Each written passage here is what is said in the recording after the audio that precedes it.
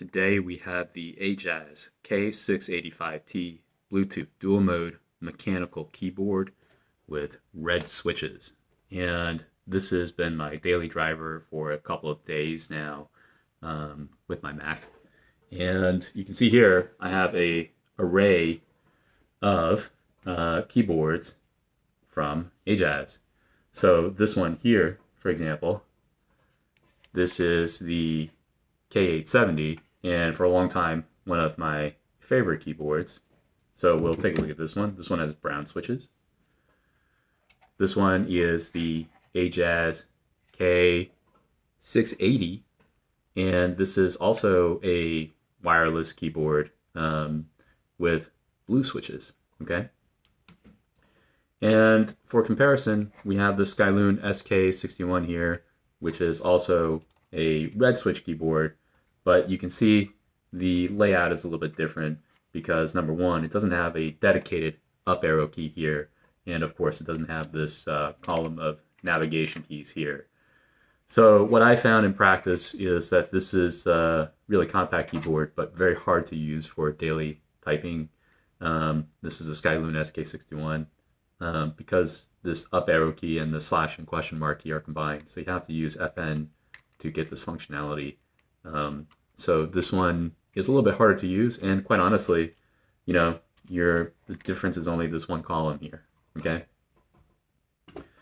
Now, compared to these other Ajazz keyboards here, for example, um, what you'll see is obviously this is a very compact keyboard.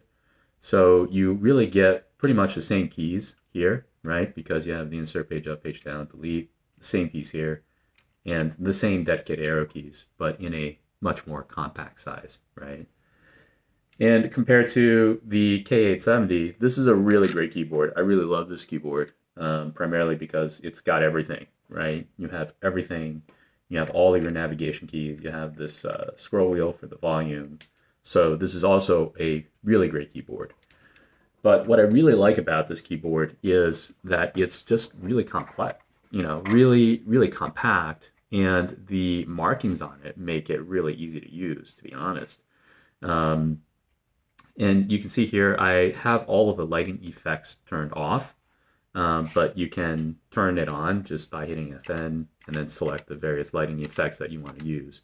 There's tons of lighting effects to choose from, and if you go into the application, you can customize it even more. Now, one thing I will say is that the application itself um, only runs on Windows. So if you're using this on a Mac, you have to go find a Windows machine and uh, reprogram your keys. And we'll talk about why you would want to reprogram your keys in the first place um, when using this keyboard. Okay. So construction wise, it's really nice. It's relatively light. You know, even though it has a battery, the battery has been fantastic. I haven't had to charge it yet, uh, but I also use it primarily with the lighting effects off. Um, one note here is that this USB-C port here is quite tight, so not all USB-C uh, cables will fit into this port. So you have to um, use the cable supplied with or find one that, that's going to fit into this plastic housing over here, okay? Uh, other than that, from a usage perspective, you know, there's only a couple things that, um, you know, you'll have to really think about. Number one is that the here on the right hand side, you can see there's a home and a delete key. So what would make a lot more sense is if this was the end key instead of the delete key, because this is by default the home key, right?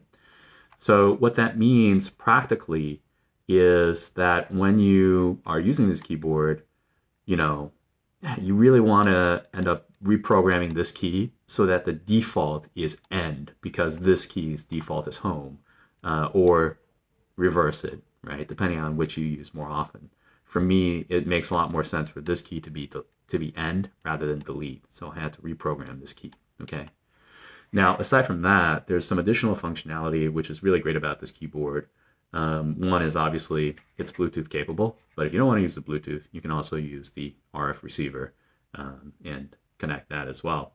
But you also have the option, if you're using Bluetooth, switching between three different devices, which I think is really great because number one, it's compact. But if you have multiple computers, a Mac and a PC, you know, or a gaming PC all together, you can use you just hit FN and then you can switch between uh, different devices. And if you're using the uh, the RF receiver, that's even better. You can have up to four devices that you're switching between with one keyboard, right? So this is really great. Um, overall, I think it's a really great keyboard. I've been using it as a daily driver and fantastic keyboard. I think it's really well balanced compared to this uh, K870T because the K870T number one is much heavier, um, and then number two is it's much bigger, right? So let's do this. Let's give it a listen so you can see what it sounds like. Again, these are red switches.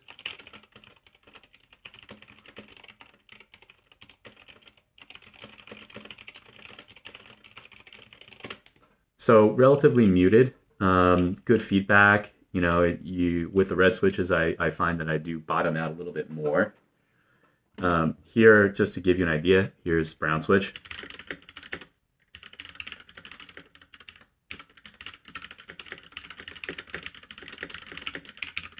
Okay, so obviously, uh, definitely louder than the red switches, more clickety clack, right? And here is the Here's an Ajazz. Um, again, this is the K680T. Uh, same wireless, wired, Bluetooth, and we'll give it a type, and these are blue switches, okay?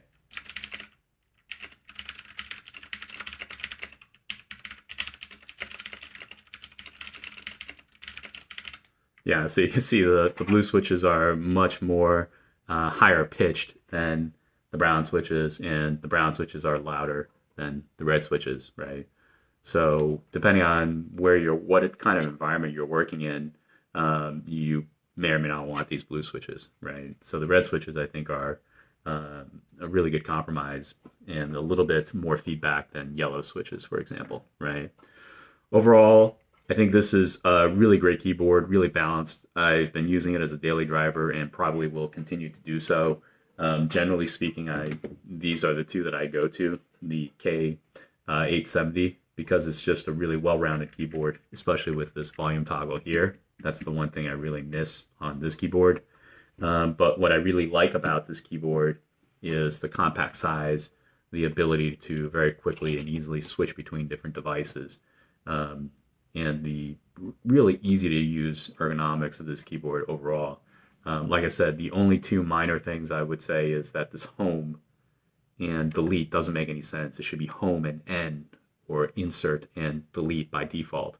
So this is a weird design decision here, and you'll need to download the software to reprogram um, how these two keys behave. Okay, but otherwise, great keyboard for daily use, for gaming, whatever your case may be. Very well-rounded keyboard.